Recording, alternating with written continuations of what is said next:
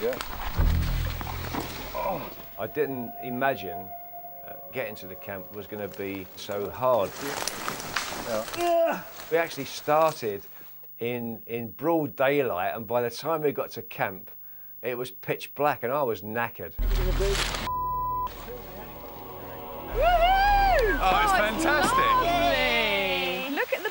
The beds. Oh, it's great.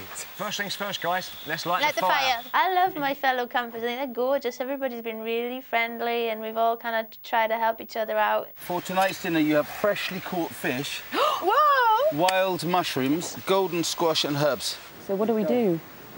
I can't sit and wait for John to come. I feel awful. Poor John. I'm just going to get some water. If you get me a knife, 'cause I'll the- clean that fish up. We, get, we can pretend to be able to cook. We've got a fantastic team. It just went, you know, it just clicked. And I think that's quite rare, especially with me, my personality.